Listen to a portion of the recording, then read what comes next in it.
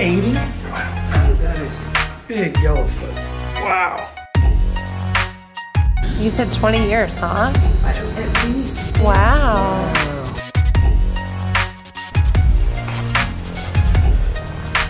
Got him.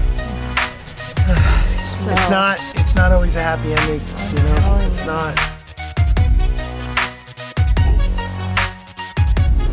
We're kicking off the new year with a brand new adventure. You guys are coming with us. We're on the call once again to rescue some turtles and tortoises from an unfortunate situation. Here we go. Okay, we're here. The reason this is unfortunate is because this person's health has been declining and they can't take care of the animals the way that the animals need to be taken care of. So this person is doing the right thing. They reached out to us to get the animals in a position where they can be cared for properly and continue on with their lives instead of, you know, something bad happening or them going to the wrong place. So um, we're gonna go in and uh, we'll see what we're up against here.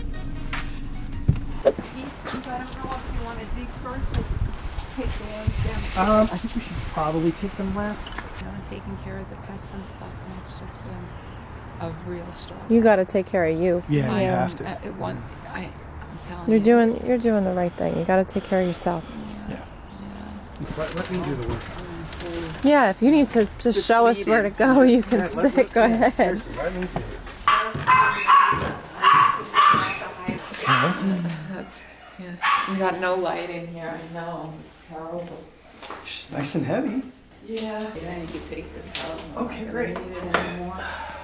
And this is, um, this is Winnie, a Oh, Malaysian Malayan box, very cool. Yeah. so, Hi. uh, she's beautiful. Yeah, She looks great. Sweet. she's been eating good. Uh, Yeah. Cora to feed them- amboinensis. Yeah, and I was feeding them pinkies all the time. Oh, good. know, And um, pinkies and and uh, repti, ReptoMin. yeah, Yeah. and uh, Mazuri and uh, the um, what's the other one? Uh, Zoo Med. Zunic. And this is the ornate. Oh, This is- beautiful. And um, this is, and they're all healthy. They're Yeah, just they slowed down because I had to pack them away because Sure. it's just too much. Yeah. I know you can't keep certain species together, of what I read on uh, Yeah, I mean it's okay for you know real quick, but yeah. 80 years old. 80. He's got to be at least 80 years old. You can tell by just looking at him. Wow. Yeah, when I got him, he was he was about this big, and now, Wow. That is, that is a big yellowfoot. Wow. yeah, and heavy too. Yeah, absolutely. And looking healthy too. Wow. Yeah. Cool. And he he was my sweetheart. He was such a sweetheart, and I Yeah. had him for so many years, and Yeah. He's beautiful. Yeah, really beautiful. he's been around. I had his I had numbered on all numbers on all of them. Okay. just in case they got lost. And he got lost once, and they brought him to a pond on Oh, Manor Road, and I freaked out. Yeah. That was many years ago, and this is Wow. Greeky, and he, they all look a little dehydrated, too, so be expect that Yeah, yeah. because I put just packed them away. That's we we have seen. This is this nothing. is I know nothing. you understand. Yeah, this is I- this is wonderful. the videos. Yeah, this is wonderful. you can tell these animals are just really well cared for.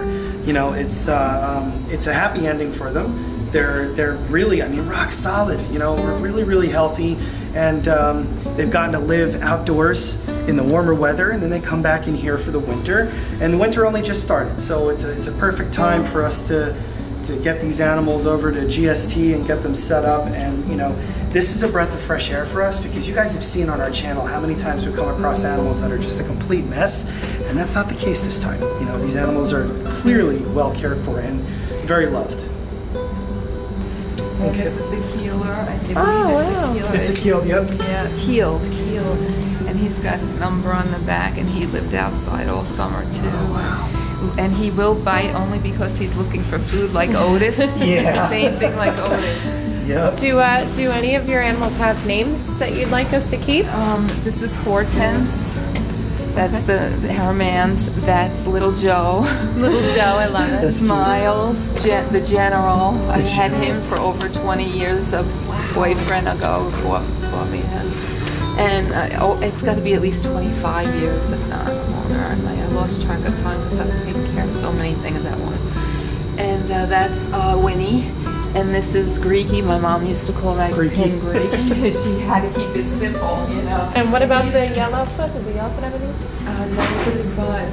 Bud. And his Okay. AKA um, Goliath. A friend said, "Oh no, you got to name him Goliath." okay. It's Cuora mouhotii right there, or Mahudi Eye. So beautiful. You said 20 years, huh? At least. Yeah. Wow. Did you raise it? Yeah. Yeah. Wow. Wow. Well, you did a really great job. Yeah. Everybody fantastic looks. job. Everybody looks fantastic. Everybody looks so great. This is something you definitely do not see every single day. This is the keeled box turtle, an Asian species, uh, highly coveted species actually, Cuora mouhotii, or mahudi, however you pronounce it. Um, really awesome animal. You guys might actually recognize this turtle as kind of looking like Lakai, our Vietnamese black-breasted leaf turtle. Very similar in certain ways, but also also very different. This is one of Asia's box turtles. It does have a plastral hinge so that it can at least partially close up, whereas Lakai, the Vietnamese black-breasted leaf turtle, does not have that. And there's also vast differences in sizes. Lakai species will not get this big, whereas the Mahudi can actually get even bigger than this. So that's, uh, I wasn't expecting that. That's um, a true rarity right there. And this is Melanie. This is my mom's favorite turtle. And I've had her, oh God, I've had her since 1979, 1989. No way. Wow. Yeah, I think 1989. Holy Now she's light right now because she needs, she doesn't go in the water on her own much. She, My mother kind of had always put her in the water, Really? but then she lived outside for the rest of the summer and just this year, and then she was fine, you know. And She would do it on her own. yeah, she would go in the, on her own, but you could feel the weight of hers a little different than the others. it's now she was diagnosed with um, eggs in her in here. Okay. And they wanted to saw her open at the vet's office. Oh my Really? gosh. Excuse me. And um, she, uh, I decided not to do that, you know. And she was so, um, so like, she was the sweetest turtle. She has a very shy personality. That's why my mom liked her so much, you know. Well, that you can. It's evident they all look very, very healthy and happy. They do, yeah. Everybody's, uh, She's very bright-eyed. You can see. bright-eyed. And Does she she's- have a name? Did you say her That's name? Melanie. Melanie. Yeah, I Okay. it right here. I Okay. That's everything my mom.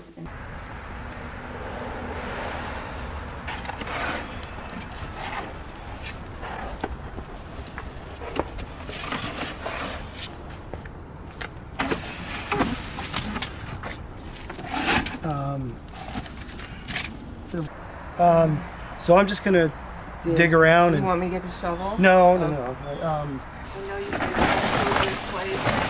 It's so reassuring. It's the one that laid the eggs naturally, but Right. um.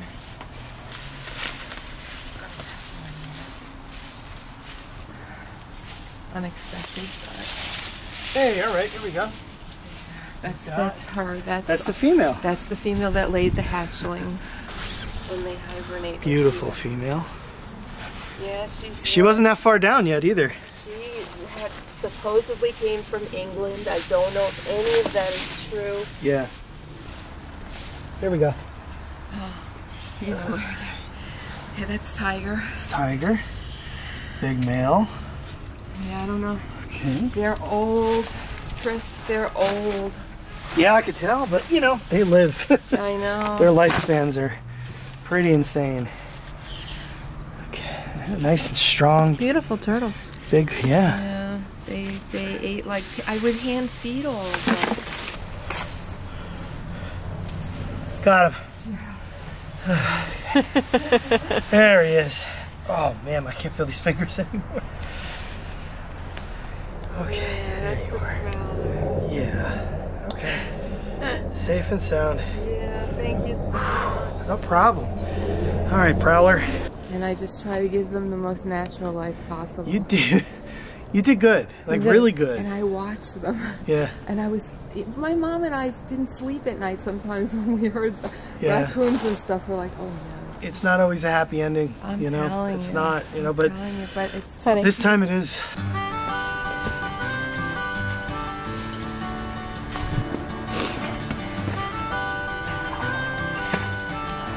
So we've got several very healthy animals.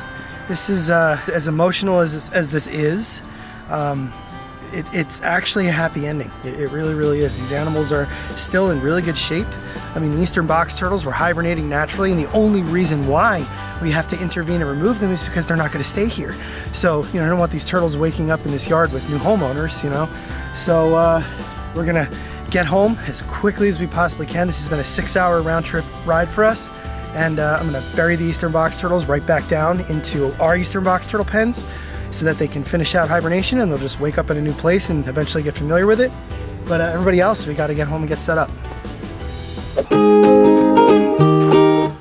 Right, made it back home, so let's unload the animals, get them inside our reptile building so we could take a close look at them because it was kind of hard to really see everything down in that basement. It was dark down there, but uh, I'm pleased so far and I don't expect to see any surprises.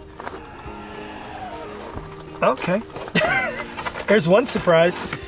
You, uh, you have to go back into hibernation there, buddy. This is one of the eastern box turtles that we had to dig up, who is now active from being in the car.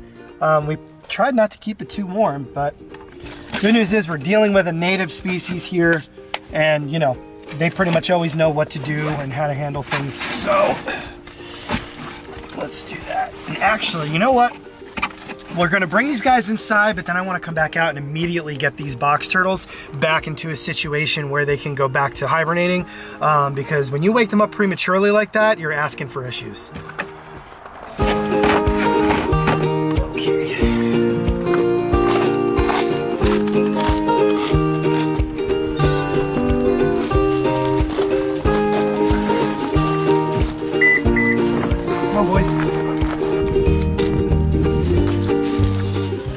Right, so this is one of the pens that's suitable for this species.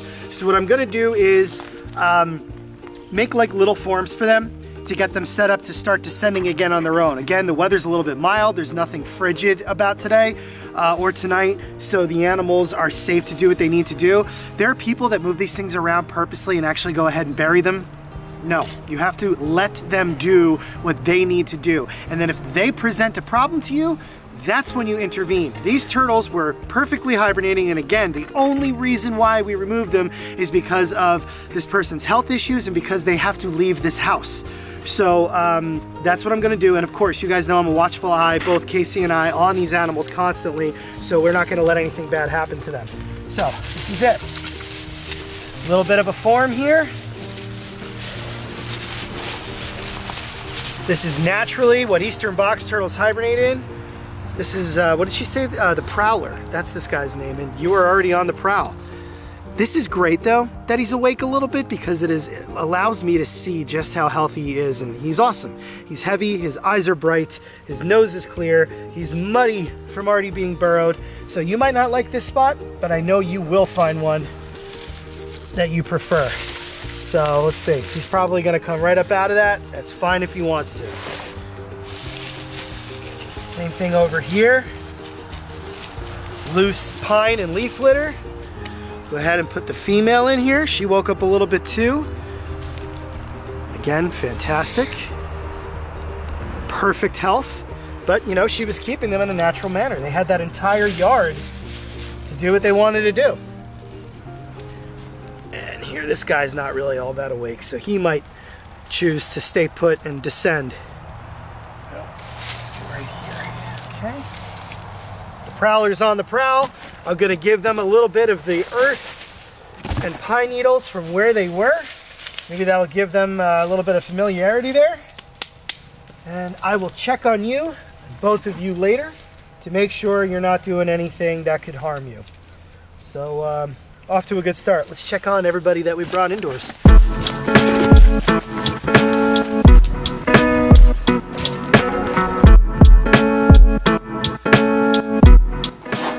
Check on Maggie May first before I do anything else. How's our little cow? Maggie May! Hello!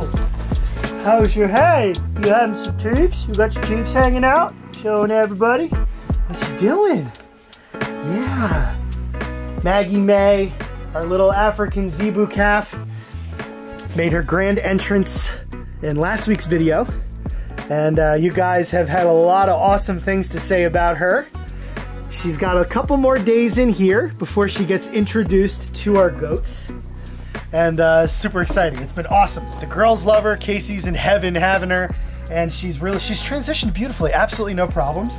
But we did, uh, we were out for six plus hours today driving to pick up these uh, tortoises and turtles. So I just wanted to make sure you were okay. And you are. Back to work. Oh, you walked right past our other cow.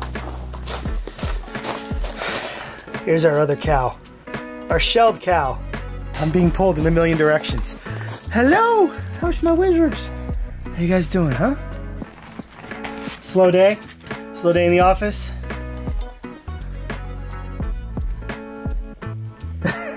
Look at him. Rocky and Blue, everybody. The rhinoceros iguanas. I'll come in there and spend some time with you guys in a minute.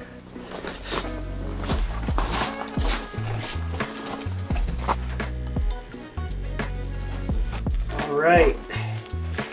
Here is the behemoth of this collection. She rode pretty well in this pet carrier.